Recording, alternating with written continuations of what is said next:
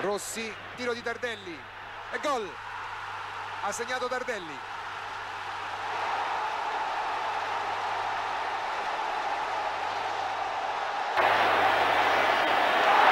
Boni. Rossi. Boniek. Tiro di Boniek e raddoppio di Bettega. Il gol è di Bettega, merito al 90% è di Boniek.